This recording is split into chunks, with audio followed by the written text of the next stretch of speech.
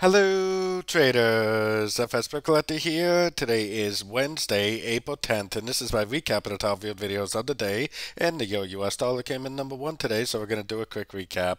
If you'd like to see my full top down analysis on the Euro dollar, make sure you check out the video linked at the end of this video over here. So we did have inflation CPI for the US dollar today caused a big, big push down.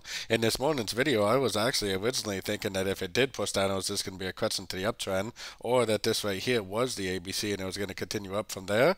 But in my members meeting that we had at the news today, it was kind of clear because what happened was it made impulsive down, one, two, three waves up. That first impulsive candle right there should have been the indication that this was going down.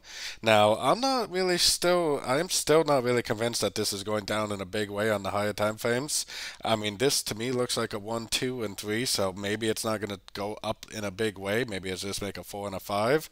But like I said, I'm not really convinced this is going to continue to downtrend on the higher time frames.